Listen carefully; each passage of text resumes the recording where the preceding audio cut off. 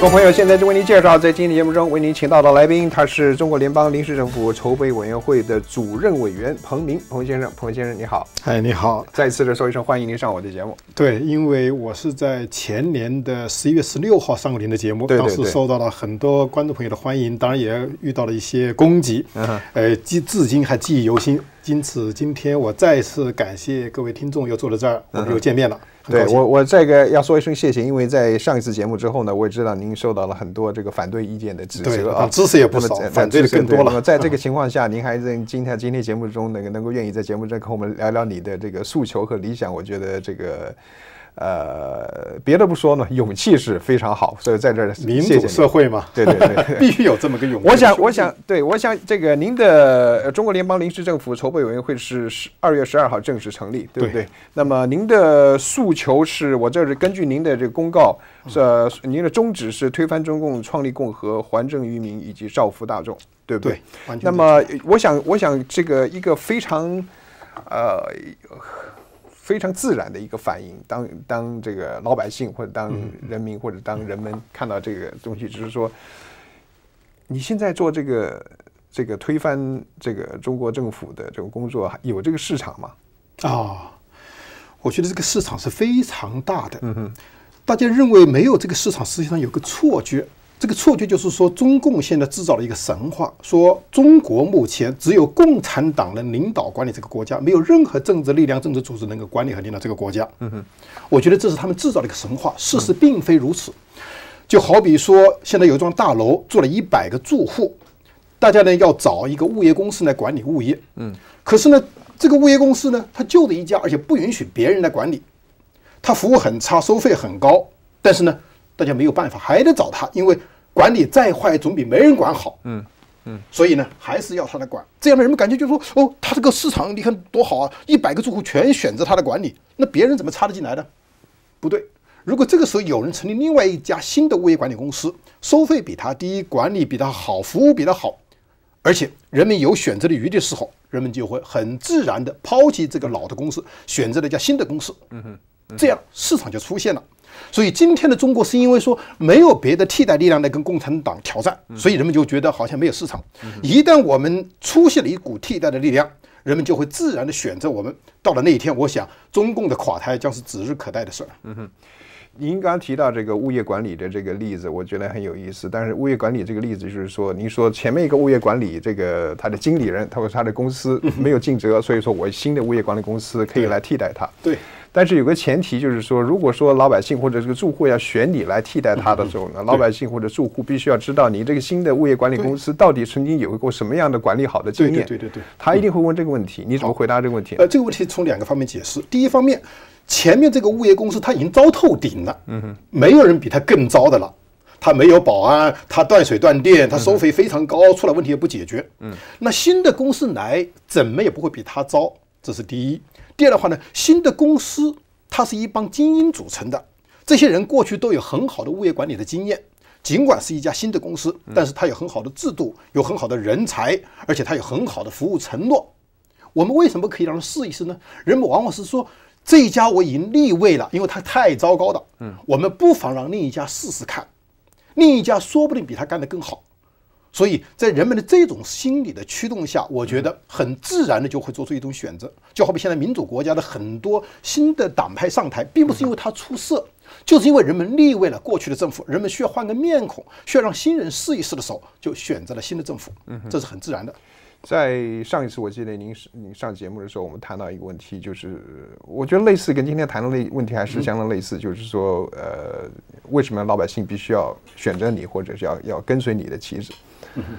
呃，国民党离开中国大陆的时候，很多人觉得说，中国中国大陆还不如共产党治理，还不如共产啊民国民党治理来好。是的。同样的一个问题延续下来，如果说这个中国呃联邦临时政府成立之后，搞不好，说不定还没有中国人民共和国弄得好。嗯，这个可能性不是不存在。但是我想，你要是看看我们的宣言，看看我们的纲领，就会清楚了。我们打个比方啊，目前中国共产党政权，他们尽管获得了政权五十几年，他们尽管也取得了一些表面上的经济成绩，但是他们一项基本的民生一直没有解决，就是老百姓的社会保障问题。到今天为止，绝大多数的中国人生病看不起病，退休没有地方领养老金，失业没有地方领救济金，绝大多数的孩子上学是必须付费的，如果付不出学费，你就要被赶回家。这四大社会保障，共产党现在没有建立，他们也不想建立，当然他们也没有能力建立。而我们未来的中国联邦临时政府成立以后，一定会在这个方面做出成绩，让老百姓真正从政权更迭、从一个新的政权的诞生中间获得实在的好处。这是一个足以能说明问题的例子。就这样的问题我们都能解决，我想其他的问题我们当然也会解决的。你有这个财力心解决，但是你是不是有这个能力解决？老百姓还不知道。不我还是回到那原来那个问题，对不对？这个问题很好办，就说每年中国的 GDP 是多少？每年中国的财政收入是多少？这四项保障它需要多少财力的支撑？我们现在还有多少缺口？这些缺口从哪些渠道可以获得？比方说，我们裁减军费，我们减少贪污，我们减少豆腐渣工程，我们减少那些不必要的跟台湾争取所谓外援的这些金援，把这些钱省下来以后，我们足以建立这个保障体系。这方面，过去我们的中发联也好，今天我们的联邦党也好，以及我们这个临时政府的筹备委员会也好，我们做过大量的调查研究工作，这方面已经拿出了成型的方案。所以我相信，我们这个未来的政府成立以后，这些问题是能够解决的，因为有一大批专家已经做出了严格的认证如。果这个方向方式实在是可行的话，而且经过研究之后真的是可行的话，那么这个为什么中华人民共和国政府不能做这个事儿呢？第一，如果他做了这个事以后，老百姓有了这样强的保障以后，他的政权控制会更困困难，因为只有当人民对政权高度的依附的时候，他才容易控制。如果人民这些基本的保障都有了以后，他就会很自由，就会不受你的控制，所以他不愿意做这个事儿，这是第一。第二，他的财力是有限的，他要把有限的财力用来扩军。买高科技的武器，让贪贪官去贪污腐败，上豆腐渣工程，然后跟台湾进行外交上的竞争等等。他把有限的钱用在那个方面了，他不是不想，他没有这个能力。这是第二。第三，中国经济一直在一个畸形的轨道上发展，他并没有把经济调在一个合适的、正确的轨道上来，所以没有足够的财力，嗯，当然也没有解决好地方和中央这种财政关系来解决这个问题。而且到现在为止，中共政权并没有拿出有力的力量、强有力的力量来真正研究这个问题。他们没有研究这个问题，没一个中中央班子来研究这个问题，更没有说拿出一个计划，多少时间能解决这个问题？没有。现在朱镕基他所说的只是说，中央政府要在若干年内解决城市的保障问题。你知道，中国的城市人口只占全部人口的百分之二十，最多不超过百分之三十，而现在多数城市人口还没有解决。那何年何月才能到我想？我想这个问题就是说，要提出问题来呢，中国大陆的问题很多，这是每个人这是的其中之一。这是这是每个人都同意的，对对对。其中之一或者百分之一或者千分之一，对对。还是那句话，就是说，你如何让广大的老百姓说，我应该支持这个人？我问这句话的原因，我再度的回来问这句话的原因，因为我个人觉得这个呃大的时态、大的这个这个这个局势、这个这个态势时态。呃，和当初孙中山先生推翻满清，以及和当初共产党把国民党赶到台湾去，那个时间已经不一样了。完全对。我个人觉得，如果说你有这个诉求，可能在这个大时代中最适合做这种呃诉求，而且能够成功的机遇很大的一段时间，可能是文化大革命的时候。嗯哼，现在这个时间呢，老百姓他不是要变，他要的是和，是安定。你同不同我的说法？不同意。嗯，呃，文革中间在外人在海外人看来是一个很好的变革机会，但是我从来不这样认为。为什么呢？文革中间人心是高度的向着毛泽东，向着共产党，高度的人心所向。在高度的人心所向情况下，你怎么能推倒这个政权呢？而今天不一样，今天少数贪官污吏、少数发了横财的人可能拥护这个政权，可能私定私和平。但是绝大多数的老百姓生活在水深火热之中，他们真是吃了上顿没下顿。比方说，现在正是寒冬腊月的时候，绝大多数中国人的房屋里面没有取暖设施在挨冻，所以这批人是希望变，希望一个新的政权真正为他们谋福利，希望那些贪官污吏得到整治，至少得到遏制。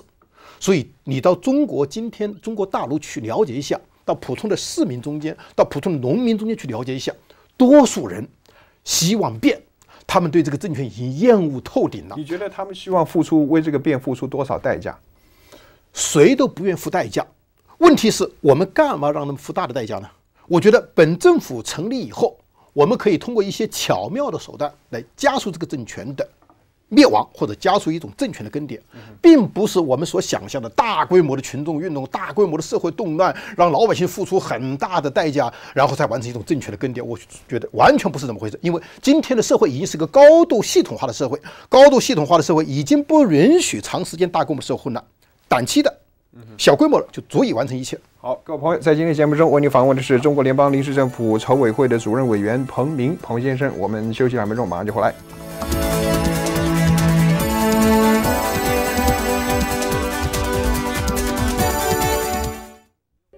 成功并不是变魔术，KTSF 二十六台带您看看成功必经之路。每逢星期六下午五点，为您送上《生意人》，主持人江涛将会带大家看看每一行生意的成功例子，令您可以从中吸取经验，学习如何开展及经营一盘生意。《生意人》每逢星期六下午五点播出。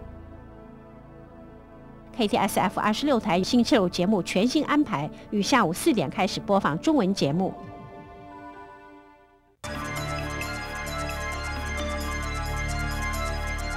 無論係你自己，還是你嘅親友，好賭而需要幫助，請致電求助熱線一八八八九六八七八八八。繁忙的工作，繁忙的交通，意外在所難免。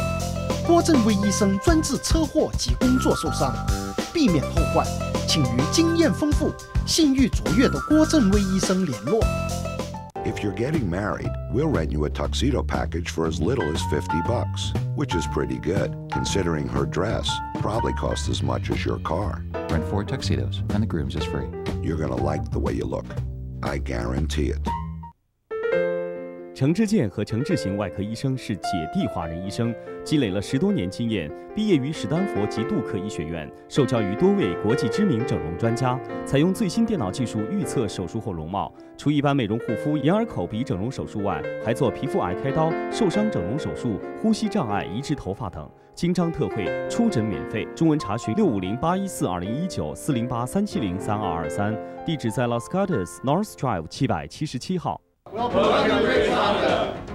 想以最佳优惠购买全新汽车，立即来 San Bruno 的 Grace Honda、Pilot、Odyssey 及其他新车，全部以超低价出售。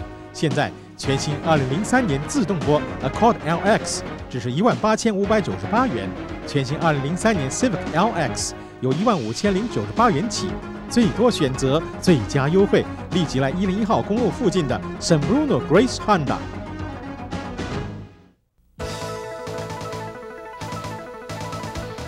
各位观众您好，我是华夏地产学院童光辉老师。本学院是湾区唯一华语教学、设有三家分校的地产学院。如果您打算通过加州地产执照考试，请与我们联络，电话四零八二四六二八零零。地产同贷款执照班现已招生，报名一八零零三八零八零零九。独立生活资源中心为南阿拉米达县的伤残人士提供更高质素的生活，令他们更容易投入社区。详情请致电五一零八八一五七四三内线十六，是五一零八八一五七四三内线十六黄先生洽。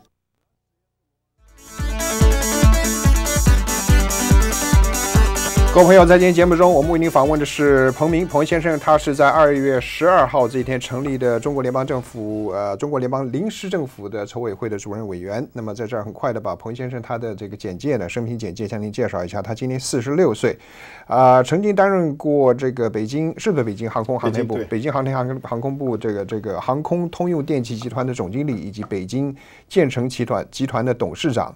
也担任过中国发展新战略研究所的所长，在一九九八年的时候出了一本书，叫做《第四座丰碑》，引起了很大的反响。然后，一九九八年六月呢，彭明先生组建了一个组织，叫做中发群，就是中国发展联合会。那么，一九九九年一月呢，彭明先生被中共当局逮捕，在这个监牢里面秘密写出了民主工程的提纲。啊，西元两千年八月呢，彭明先生出狱，为了逃避中共再次的逮捕，在九月呢，逃出了南亚，是吧？南他这个东南亚，逃出逃出东南亚。那么在十一月呢，获得联合国的难民署的政治庇护。那么二零零一年的三月份。啊，美国这个移民局批准彭明先生以及他的全家呢移居美国。然后，二零零一年的五月呢，彭明先生被中国民族教育基金会评选为两千年度中国杰出的民主人士。那么，二零零一年的八月底，彭明先生抵达美国。然后呢，最新的状况呢，就是二零零三年二月十二号呢。啊，这个组织了中国联邦临时政府筹备委员会。那么彭明先生呢，担任的是筹委会的主任委员。有一点，我想这个跟您聊一下，就是说，这个你们对于呃台湾独立的看法怎么样？我想，台湾它现在已经是一个事实上的独立的主权实体，谈独立已经没有任何意义了。他实际上是想获得两个问题，一个就是说，希望联合国。承认他的地位，另外一个就是说中共能够放弃对他的武力威慑。实际上，他要了两个东西，而这两个东西，我觉得没有中国大陆的民主化，我想他是得不到的。所以，台湾要独立也好，他要获得自己的生存空间也好，他要获得自身的安定或者是他的尊严也好，他必须促进推动中国大陆的民主化。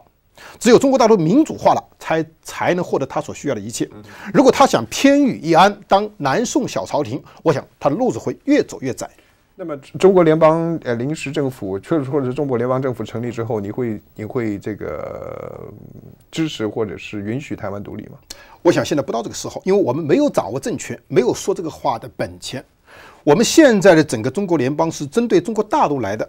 如果有一天我们推翻了中国共产党政权，我们回国执掌了政权，中国联邦真正在中国大陆的土地上生长起来了以后，那个时候，我想我们会和台湾共组中华有限邦联。如果他们不愿意呢？他们不愿意，我想我们会以其他的手段让他们愿意，因为他们没有更好的选择，这是最好的选择。其他的手段包括什么呢？包括经济的压力，包括外交的压力。包括国际社会给他施加压力，他会最终就范。加上到了那一天，中国大陆已经民主化了，中国的发展也已经跟现在完全不一样了。那个时候，我想台湾人也是多数人心所向，大家会走上这条道路。因为邦联你还可以保持一个主权国家的地位，只是说我们建立一个在有限期间内。好，我了解。对不起，我因为很多朋友在线上等着。第一位是 Mountain View 的谭先生，你好。哎，我想向彭明先生提三个问题。嗯，第一个问题。就是现在湾区呢，正好失业率很高的情况下，忽然在《世界日报》有一天能看到你们那个招聘启事，大家都很兴奋。就是说你们招聘国防部长、外交部长、农业部长、经济部长等等等等。就我我有点纳闷，就是现在你们现在招这个在招这些部长干嘛？因为现在那个政府还不存在，没有这个工作。你说国防向谁国防？外交可以。向谁搞外交？谭先生，把节省时间。对，节省时间。另外，另外，你们你每个月的工资是两千到五千美元。如果招聘那么多部长的话，那么这笔钱从哪儿来？据我了解，彭明先生好像没有得过罗透奖。那么这笔钱从哪儿来？OK，好，这是一个这是一个 fair question，谢谢。然后是呃，San Francisco 杨先生你好。啊，你好，史先生你好。哎，我认为彭先生的例子很可笑。政治绝不同于一个物业的管理。试问，我有几个问题想问他。试问，你们有何政治资本与强大的中国政府抗衡？第二，中国政府现在解决不了的问题，是你们这些人能解决得了的吗？第三，中国人民需要的是胡锦涛总书记这样的领导人，而绝不是你们这样的人。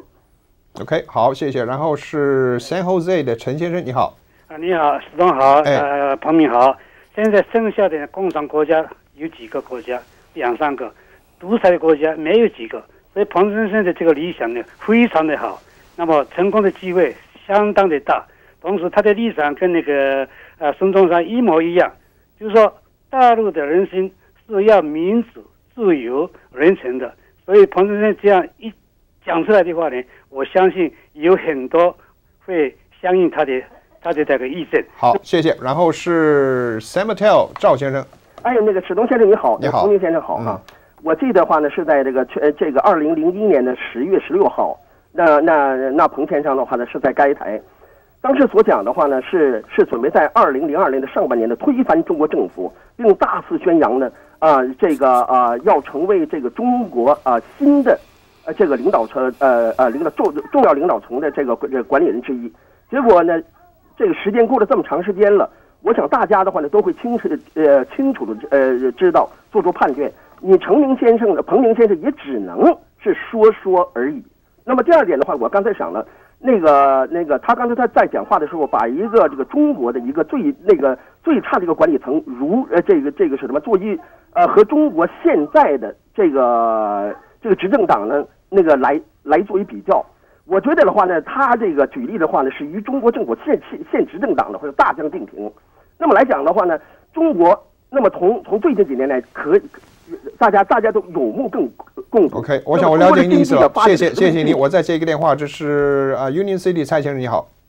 啊，我想请问一下彭明先生，如果毛泽东存现在在世的话，他对现在这个中国共产党的看法是怎么样？嗯，很有趣的问题，非常谢谢各位朋友，给我们几分钟，我马上就回来。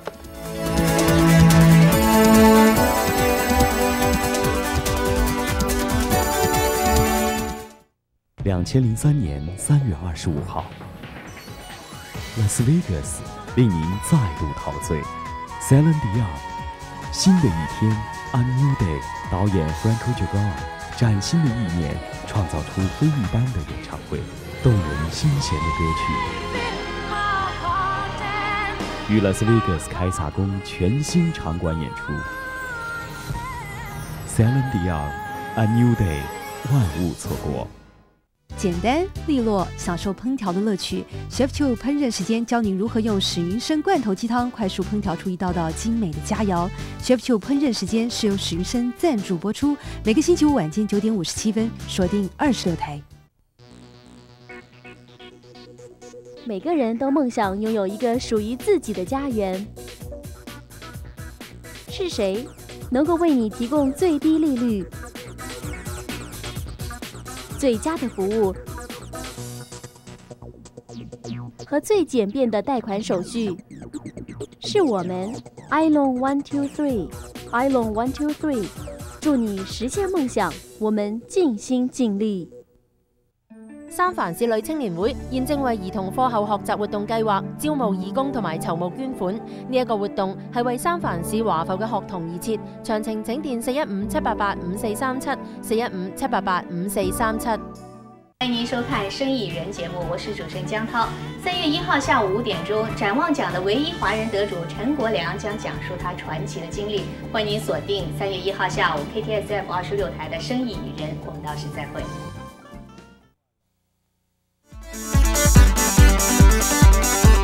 各位朋友，我们再接两个电话。第一位是 Walnut Creek 的刘小姐，你好。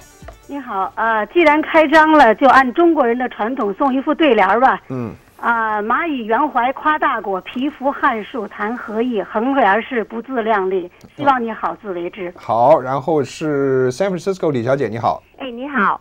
我意思就是说，我问，请问一下那个彭明，他凭什么？中国政府那么强大一个国家都没有办好事情，他凭什么可以办好？而且我很同意，呃，史东先生你跟他问的问题，问的非常好。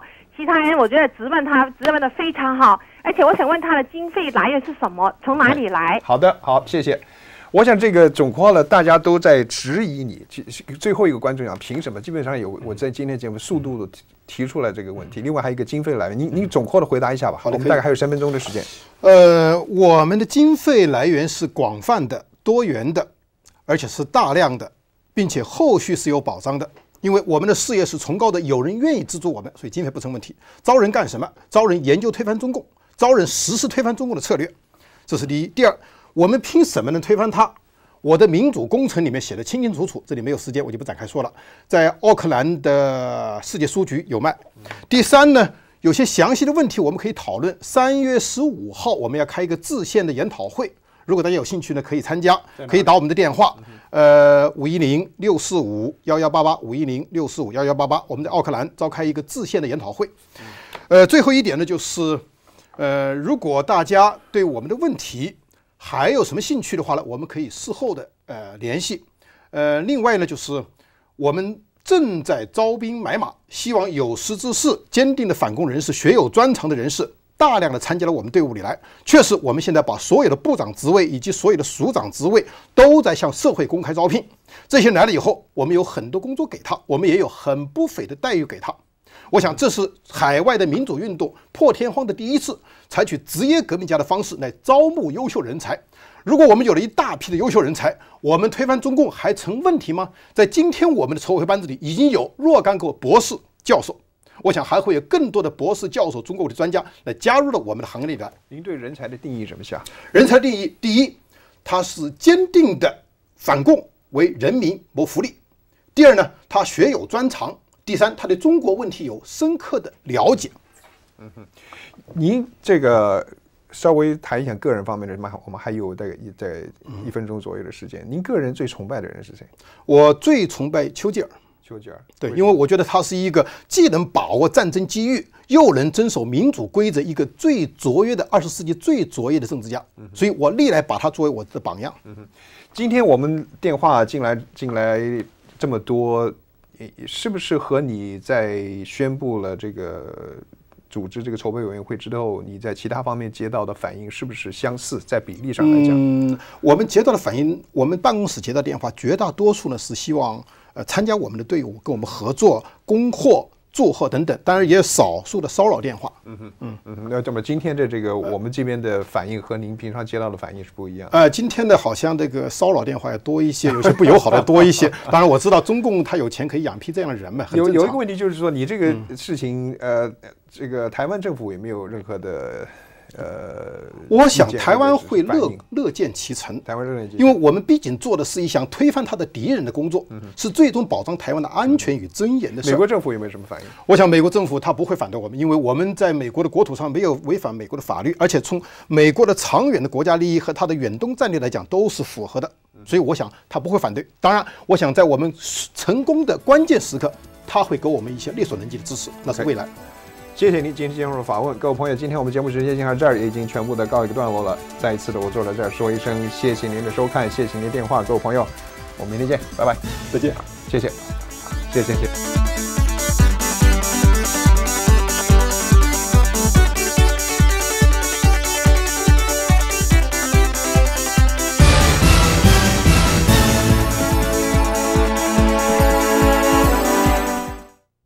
KTSF the face of the Bay Area.